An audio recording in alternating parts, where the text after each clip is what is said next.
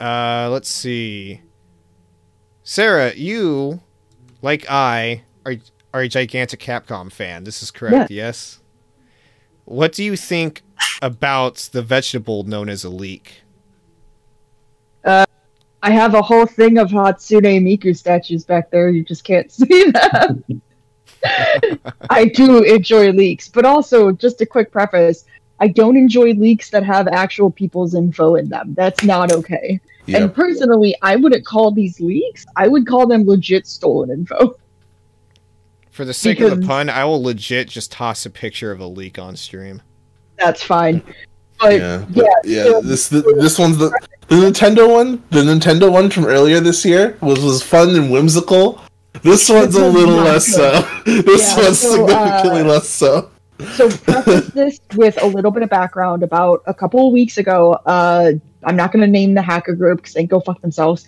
Uh hacker group came out and announced that they had stolen data from capcom ubisoft and crytek so like the Crysis people.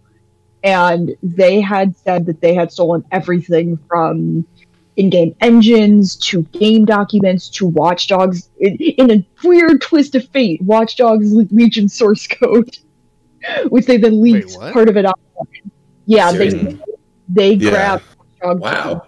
Source code and they leaked part of it on online. They like leaked the the quest editor online. So these are not good leaks. They basically held these ransom and said if they don't get mm. paid a certain amount of money by these companies, they would like drop everything.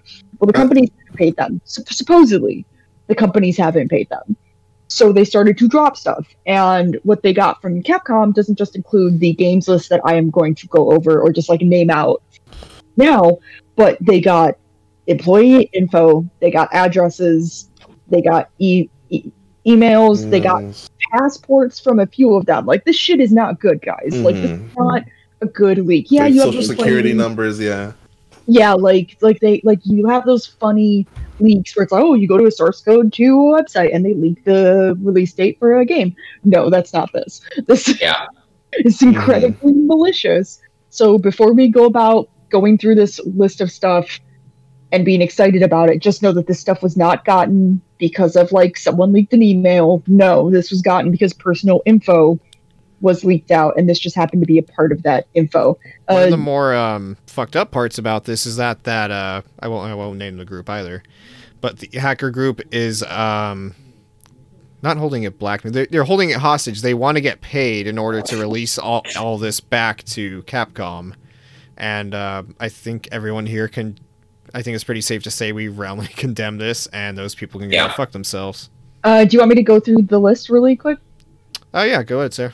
Cool. So just gonna go really quick, and then the supposed release windows of these titles. Uh, we got Resident Evil Outrage, which we don't know exactly what that is, but there's been speculation that there might be a new Out Outbreak title, which is quarter four, 2021. I Dragon's hope Dogma, it is better than Resident Evil Resistance, which was Please. packed in with three. uh, Dragon's Dogma 2, which is quarter two, 2022. Uh, there's Street Fighter 6. Uh, yay. Mesa, yay. This is quarter three of 20. Uh, I would have thought that would have been more enthusiasm from you.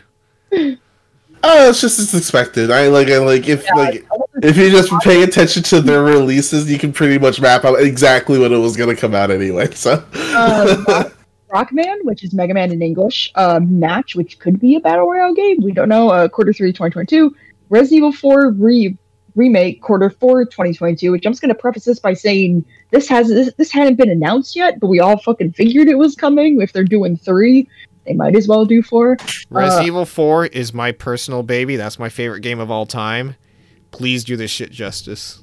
Uh, Onimusha New Work, don't know what that is. Uh, quarter four, 2022. Monster Hunter 6, which is quarter two of 2023. Uh, Biohazard Apocalypse, which is quarter three, 2023. Again, don't know what that is either. Biohazard would be the Japanese name for yeah, Resident people who Evil. don't know it's Resident Evil. Uh, Super Street Fighter 6, quarter four, 2023. You gotta wait for the Super Wait, Street hey. Fighter. Gotta gotta wait that extra year for the Super.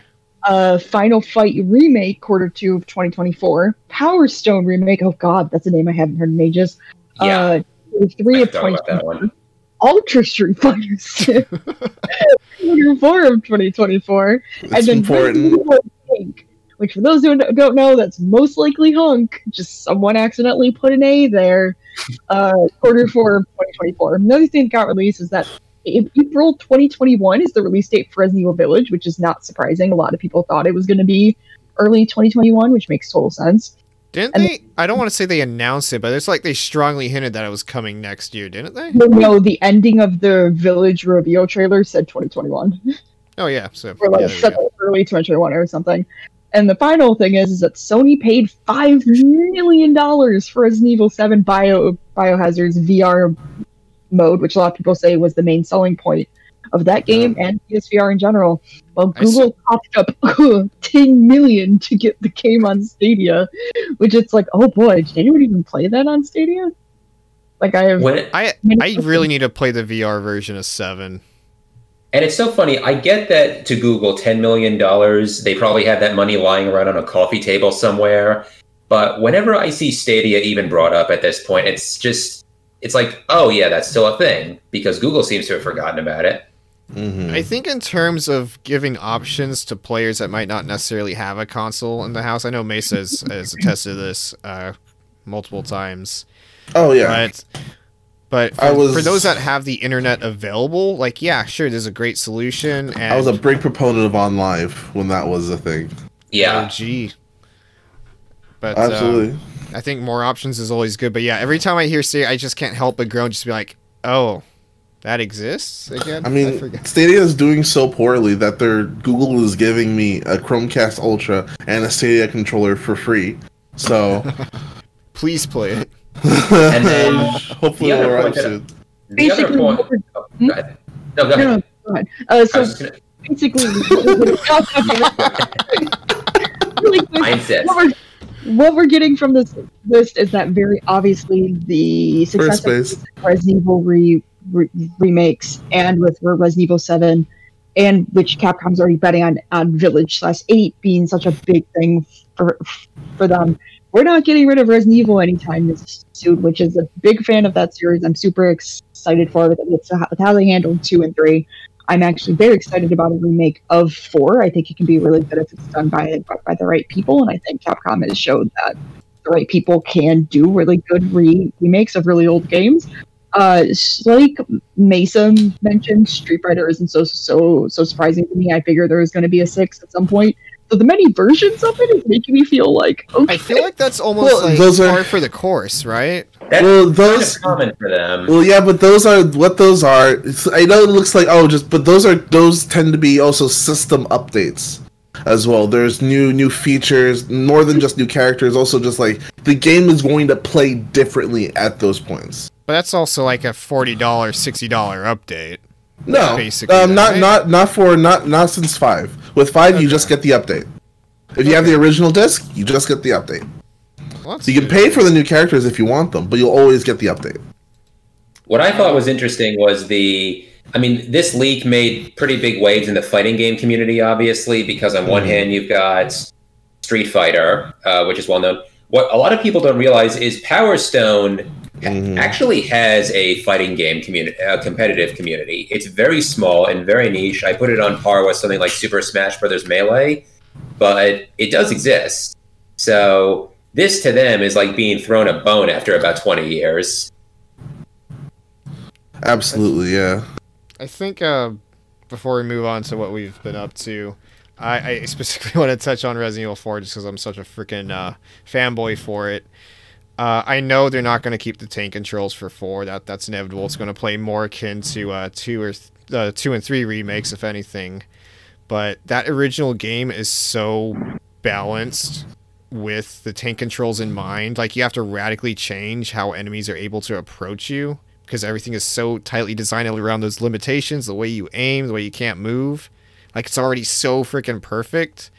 And so, um, breaking away from that is going to be interesting to see how they how mm. they mm-hmm. uh well, you also how, how they compensate for that because uh, what was it the I think it was the PS3 uh, 360 re-releases of Resident Evil 1, the uh, the re remake or I guess remake, which was re remake. Yeah. Um, they they added the option to have to, well, you can still use the tank controls like on the D-pad, but if you're using the analog stick, you can just you know twirl around as much as you want, and that broke the entire game because you're not supposed to run around and juke zombies like you're supposed to be locked in these stiff animations. So that game basically became a little bit of a joke in that regard. So I, I hope mean- that they rebalance it if they're going to go this way.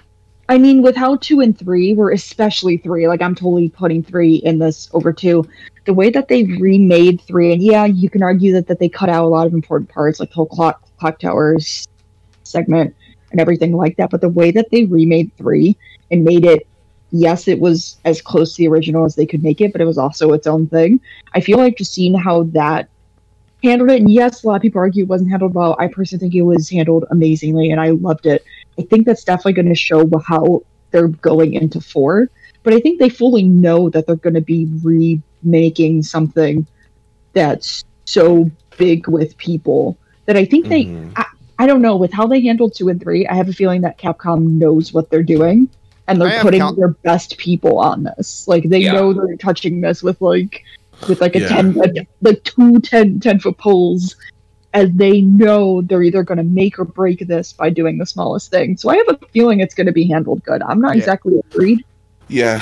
I have So- the full confidence in that team, and uh, I, I guess I'm just more concerned just because that's my favorite game of all time. Oh no, and and um, like like with two and three in particular, you know, with those being um, PS1 games, are in much more dire need. I would still argue, aside from people that aren't able to adapt to tank controls, that Resident Evil Four, like you could probably just remaster like whole new textures, and it, it would be good as new. But well, yeah, so, eagerly anticipating either way. I mean, spoilers for the end of like the Resident Evil 3 remake, I guess, but you can tell that they're kind of not exactly changing the canon, but they're slowly starting to add a little bit more story changes. And I know what you're talking about. So mm-hmm. it's like I feel like four isn't going to be a shot for shot remake, especially with how three and two happened. Honestly, that's how I feeling that- prefer it. Yeah, I just Yeah. feel like that four is going to be its own like thing, but it's going to fit in this new canon. Like I don't think they're going to change a lot. I think they're going to do what, what what what they did with three and add those very small changes to make it a part of this like new canon. Keep the laser hallway. Let my boy uh, do some Matrix stuff. We're 100 percent going to keep the laser hallway. if they don't, I feel like people are going to be pissed. Oh, In general, though, I think whatever you can say about Capcom, they do have a certain degree of respect and reverence for their franchises that some other publishers Now they might do. lack. But yeah, I mean, yeah, Back in Now they 2012, not so much. but at least with Resident Data Evil, Fuda they do. years. Yeah.